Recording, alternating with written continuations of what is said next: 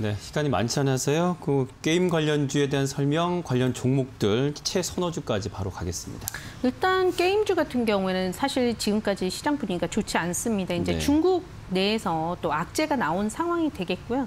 중국 안에서는 이 게임 산업 규제를 정부가 또 좌우할 수도 있겠다라는 얘기가 그렇죠. 나오면서 네. 전체적으로 국내 게임사들 같은 경우에도 또 같이 낙폭을 어, 보이는 그런 모습들이 확인이 됐었는데 그런데 이게 종목 별 간에 좀 차별화 장세가 계속 되지 않을까라고 보고 있어요. 오늘 같은 경우에도 네오위즈라는 종목이 지금 장중에 상한가를 기록을 했었거든요. 네. 이 지금 블레스 원래 이제 내놓았던 블레스라는 그런 게임이 있는데 네. 어, 이번에 블레스의 새로운 버전을 지금 스팀에다가 띄웠어요. 띄웠더니 이제 동시 접속자 수가 7만 명이 돌파가 되는 네. 어, 그런 그림들이 나오면서 어, 이번 신작에 대해서 호응도가 굉장히 뜨겁 구나라는 것을 알 수 있었습니다. 그러면서 어, 전체 오늘 시장에서 게임주들이 전반적으로 분위기가 좋은 거는 아니었는데 네오이즈는 30% 그랬네요. 상한가를 기록하는 모습도 확인이 되고 있고요. 그만큼 게임주들이 가격 조정도 이번 악재, 중국발 악재로 인해서 가격 조정이 나왔던 상황이었기 때문에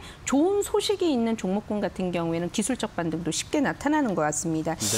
그런 측면에서 제가 그 관심 있게 보는 종목 모비릭스, 모비릭스. 네, 네. 모비릭스라는 종목 소개해 드릴게요. 이 회사 같은 경우 이제 시가총액이 2천억 원 선의 모바일 게임 전문 publisher 업체입니다. 네. 오픈마켓 기반으로 해서 우리가 애플 스토어라든지 구글 스토어 기반의 캐주얼 게임을 주로 publishing하고 있는데 음. 이 회사가 이렇게 막 유명하지는 않아요. 왜냐하면 전체 매출의 90%가 이제 해외 쪽에서 나타나고 있고요.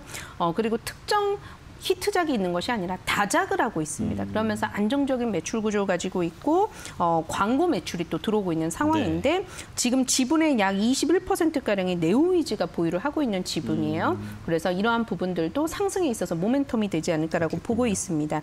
매수가는 22,000원에서 22,500원, 600원 선까지 한번 매수 밴드를 활용을 해서 매수를 해보도록 하겠고요. 목표가 같은 경우에는 26,000원, 그리고 손절가 같은 경우에는 28,800원 직전의 저점으로 좀 제시를 도와드리도록 하겠습니다. 자, 오늘 테만 이슈 코스파트너스의 김남부 대표와 함께했습니다. 고맙습니다. 네, 감사합니다.